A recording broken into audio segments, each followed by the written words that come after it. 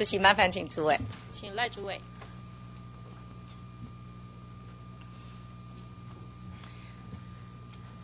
委员你好。对，我觉得今天内政委员会有点异常哎。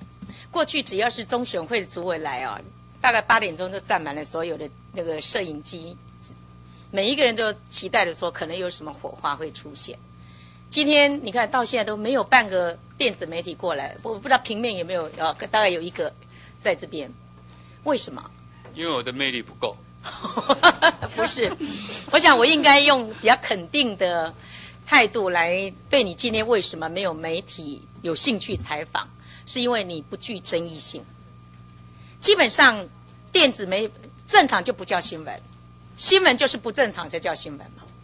那为什么会以前张主委来这么多电子媒体来？因为可能有颜色的不同、立场的不同、角色的互换，所以在对话当中一定会有所火花。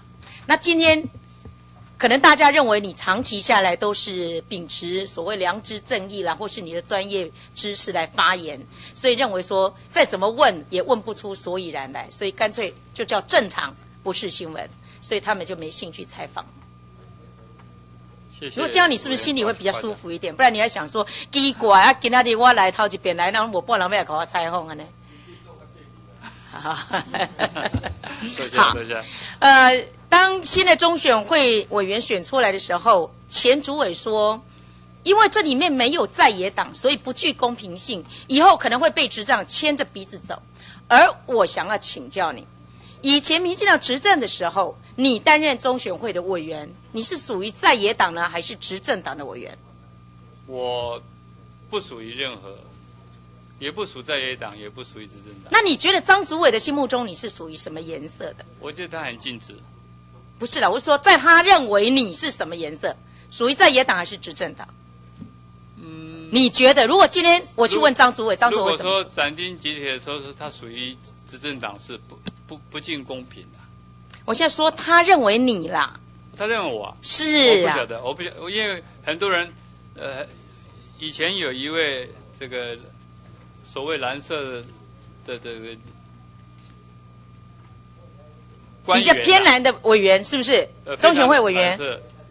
然后他说，中选会有一个非常非常绿的这个委员，他的名字叫赖浩明。哦，那个时候是国民党执政吗？那个时候是国民党执政吗？那时候国民党执政。哦，那当民进党执政的时候呢？然后也也有人说我我是深蓝的。啊，所以你是里外不是人，还是说你是亲痛仇快？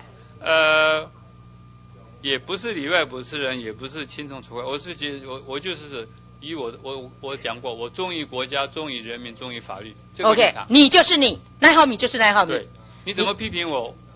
老实讲，我不在乎。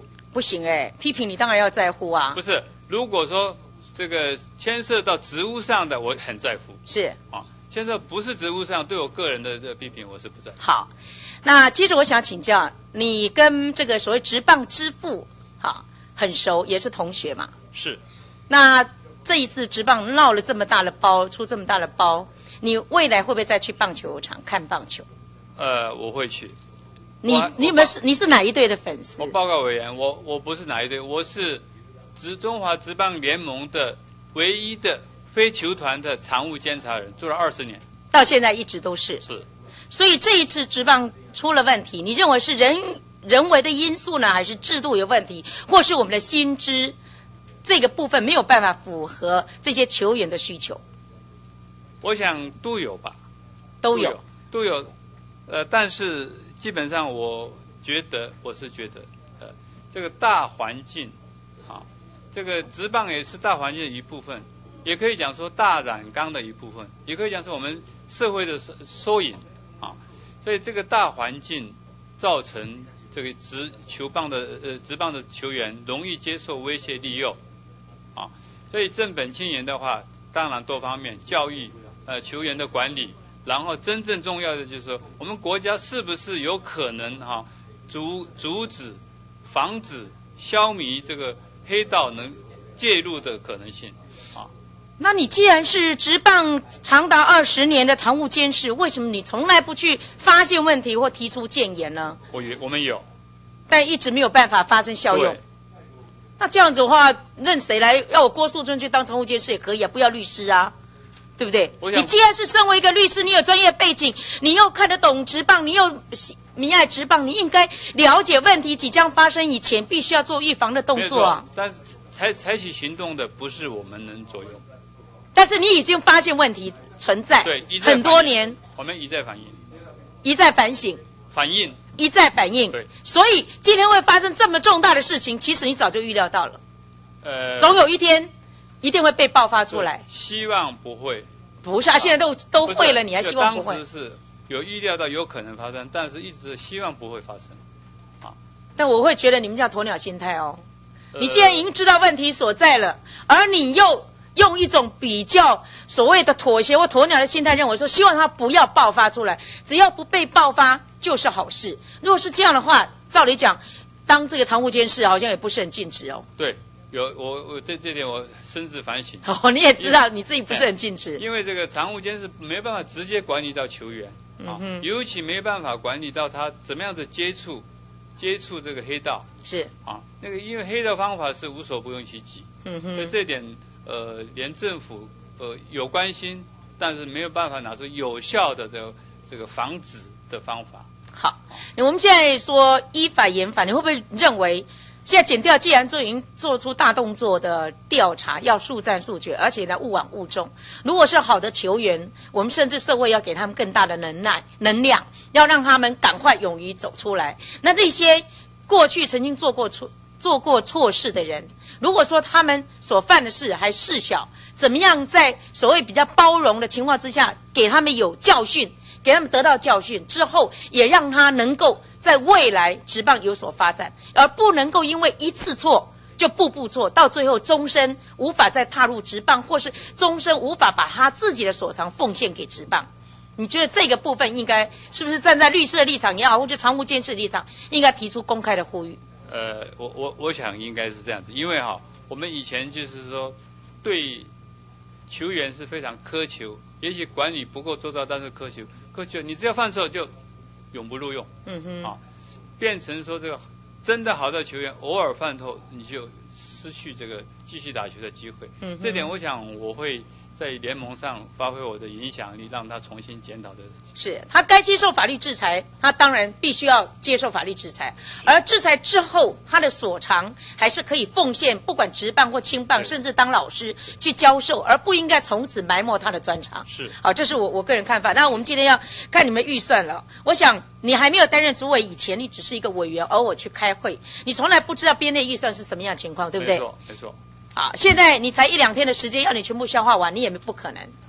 我通通看了，但有些有些还是记不清楚。好，很诚实，很好，这就是律师的个性，知道就知道，不知道就不知道，不用变啊，这是一个新新好律师的个性啊。谢谢好，那我们预算中心也写了非常多有关你们要改进的地方我希望你能好好地做个比较。礼拜六、礼拜天你可能要加班做点功课。好，我希望在决算的时候，我能看到你的改革。是立法院的预算中心每年几乎所提的问题都相同，但是长期下来就是不为所动。是您公你也，我写我的；您您画你也，我做我的，到最后问题依然存在。